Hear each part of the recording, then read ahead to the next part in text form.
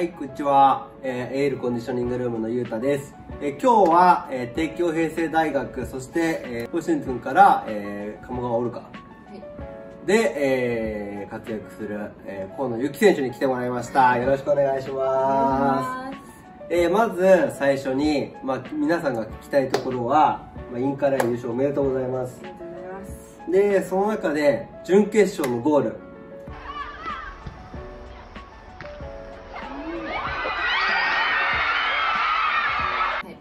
どうでした？自分の中で決まった瞬間。いやーめちゃくちゃ嬉しくて、はいはいチームメートが飛びついてきた時に、はい涙出て、はいはいはい。なんか今シーズンなかなか自分自身の結果が出せない中でのあのゴールだったんで、うんうんうん。すごいグッとくるものがありました。確かに。あれはね、ちょっとね、エールでトレーニングするしてる時からね、もう準決勝があって、まあ、日体がって言ってたもんね。日体がほぼ決勝だってね。日体を1年前から日体に勝てればどうにかなるっつってねあそこからもうリベンジだったからもうねあそこ出したもんね。俺も泣いてたもんあのスタンドで「うーっつって勇気!」って泣いてたからもうマジであれはマジナイスゴールだったよね本当にね。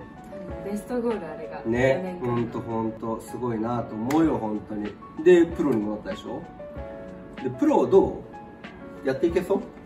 えー、全然わかんないですけど、うん、でもなんだろうな楽しみだなっていう気持ちの方が多くて、うん。不安は全然なくて、うんうんうん。うん多分そんな簡単に通用する世界でもないのは分かってるし、絶対またどっかで壁にぶつかるっていうか、ううん。まくいかないことはいっぱいあると思うんですけど、うんでもそれすらも楽しみで、うん。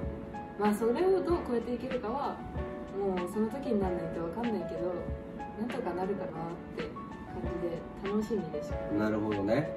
まあでもここでね多分これ見てる人とかユキに興味ある人はもう何オルカが決まりましたインカレ優勝しますってこう晴れてるところを見てるわけじゃん。でもさ一番最初ここに来た時約、えっと、2年生の10月だったっけ？一番最初来た時はさ試合に出れてなかったじゃん。ね。あの時のとか思い出すとどう、あの時は、まあ、周りにはそれはプロになりたいとか言ってたけど、うん。うんなんかそれが本心じゃなくて、うん自分を守るためのなんかセリフっていうか、うん。で実際は、まあ、試合に出てそれなりにできればいいかなって思ってて。だけどここに来たらなんか結果がちょっとずつついてくるようになってってそれでもっともっとってちょっと欲張りになってってえー。目標自体が変わったかなって感じです、もうちょっと膝下。そうそうそうあら。あやだなんかさここでやってるトレーニングの中でなんか印象に残ってるのとかある？印象に残ってるうんねもうサーキット全般。マジきつい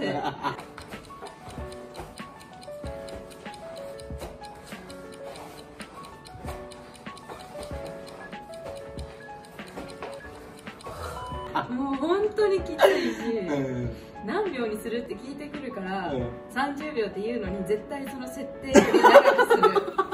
40とか50で来た時の本当にもうマジでこの人日本語分かってないって思った。日本語じゃない数値が分かってない。もう本当にやばいって思った。いでもそれどう？それ経験していく中で。やまあその経験はめちゃくちゃ生きてますよ。生きてる。生きてるけどいややばい あれはやばいと思う。ちょっとやりすぎ、うんちょっとやりすぎ。やりすぎ？ああなるほどね。でちょっと囲碁気をつけます。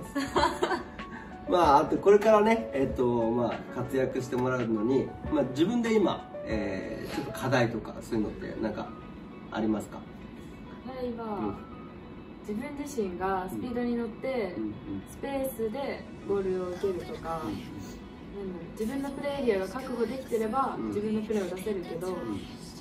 それができない時、うん。相手にコンタクトされてるとか、スペースをもう五分五分の状態で取りに行かなきゃいけないとかって時に当たり負けっていうかなんかそこの体の使い方がまだ自分で習得できてないなって思ってうんでまあなでしこリーグのチームと練習試合させてもらった時もうん。